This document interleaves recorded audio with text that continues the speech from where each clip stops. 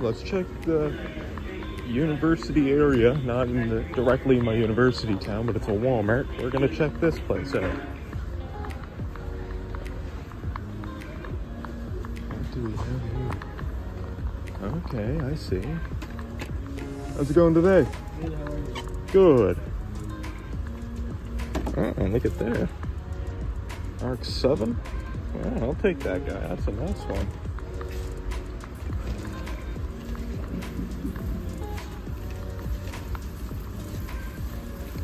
That. I'm sure the Porsches are gone, but we'll definitely be taking that guy. There's a Charger too. Heck yeah, those are the two I wanted.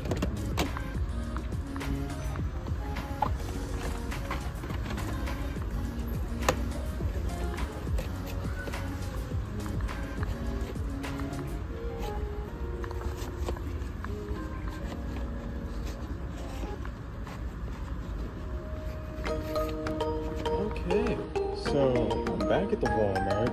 I just met um, another YouTube peg hunter as well, East Coast Diecast, and he actually found the chase here for the M2s. And you're not gonna believe this, but it's not really what he collected, and he actually gave me that. He also gave me that chase. I can't believe it. I mean, that's super nice. I want you guys to go check out East Coast Diecast. I will put the link in the description down below to check him out. He's a great channel. And yeah, like, it's nice to have another local who collects on YouTube. So with that being said, here's what I'm grabbing. I got some of the Dom's uh, Fast and Furious set. Looks like everything's here except the Lykan. They got exotic Envy. They've got yeah, so far it looks like that's going to be it. But two M2 chases. And with that being said, I will see you at the next stop. So we're at the, um, we're at one of two dollar stores here. See what we can find. Looks like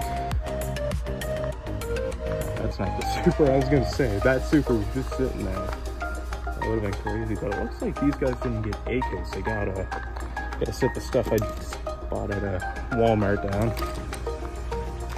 Yeah, but I'd say they didn't get A case. They got yeah, they got Q case because some of these Walmart, I mean not Walmart, some of these dollar stores were getting Q cases, and then some of them were getting, um, some of them were getting A cases. Having a brain fart, but it looks like there's nothing here. I will see you at the next stop. So we're at an out-of-town superstore. I actually met a few really nice people here, and um, at the Walmart that is including East Coast Diecast and another guy as well. But let's see what we have here. Looks like we have ourselves a K case. Very cool.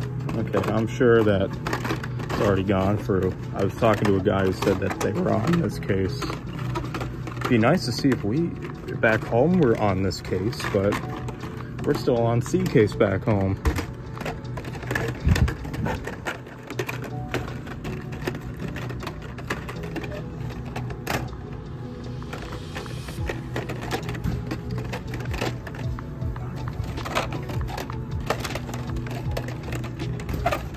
Okay, well, he was saying there was a bin here too, so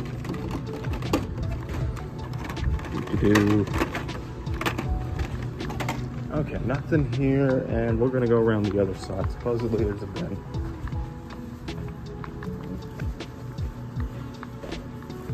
Okay, so here we are at the bin. Last time I was here, they had like three or four of these. That was a long time ago. I don't think I even recorded it, but it looks like it's just all like old stuff that's torn up and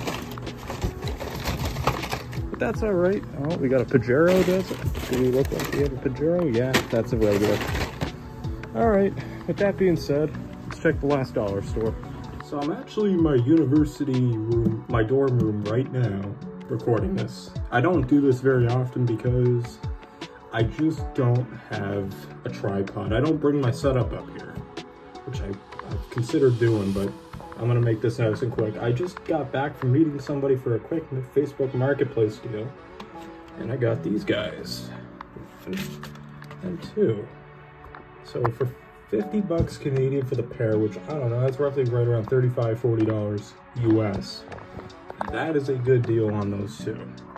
That alone, I know what that's worth. If you guys know, then you know. I don't do it for that reason, but I do collect these cards and the chances of finding a deal like that ever again on these two cars in particular is very slim to none. So at that price, I couldn't say no on that deal. And with that being said, now let's get back to the hunt. Okay, back at Giant Tiger. I wasn't expecting anything. I was just kind of here to look around, see what was here. But they got the vintage racing set in from a few months ago with the uh, supposed Camaro chase. I don't know, but did see the Porsche.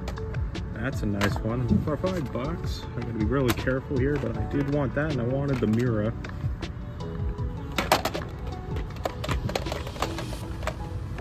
And uh, doesn't appear like there is a Camaro here. 300 SL's nice, but I gotta be really careful with what I spend. I'd say it looks like probably two cases. I do gotta be impressed. I gotta say, I am impressed with this set. These are all metal body, metal base. But, yeah, it looks like that's gonna do it for here. Um, I was at Walmart as well. I did find the uh, Carne Asada treasure hunt. I talked to another collector, and he had mentioned about finding the Trans Am Super. So you win some, you lose some. We got a small win today with a treasure hunt. Um, Boulevard Mix 5 from last year hit here again. And we got these guys. So, you know what? I take that as a small win. Not as big of a win as the Trans Am, but hey, maybe there's still time. Maybe I find one. And with that being said, I'll see you at the next stop. Well, that was an awesome first peg hunt back in my university town. Not only have I never found more than one M2 chase at a stop, and technically, yes, like I said, I did. I walked up on uh, East Coast Diecast finding this one, and so and you could hear him earlier in the video. We were trying, we were talking. I tried to start the conversation, and and then we continued to talk a bit off camera. I wanted to turn the camera off as we were talking, and and I asked him, "Hey, any luck with anything?" And he said he had found this. I couldn't tell which one it was so I asked him, which one did you find? So he handed it over, and I kind of and I made a joking remark on because I've seen people like grab stuff and run away, grab stuff from other collectors and run away. So I jokingly said, like, don't worry, I'm not gonna run away with it. I'll give it right back. And he's like, oh no, you can keep it.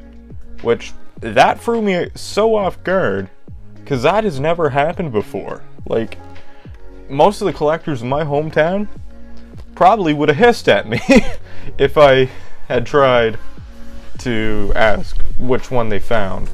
But obviously that's a joke, but they wouldn't have they wouldn't have gave it over to me. That's for dang sure. That, so huge shout out to East Coast Diecast for giving me not only that one, but he also went over and grabbed that one, which is the uh, Bronco, one of 750 this one's actually pretty nice. It kind of looks like the OG Simpson Bronco, but with all due respect, again, massive shout out to East Coast Diecast. The link to his channel will be in the description below. Please go check him out. He's he hunts in the area, so it's nice to have another YouTuber you can check out to see what's it, what we're finding in our area.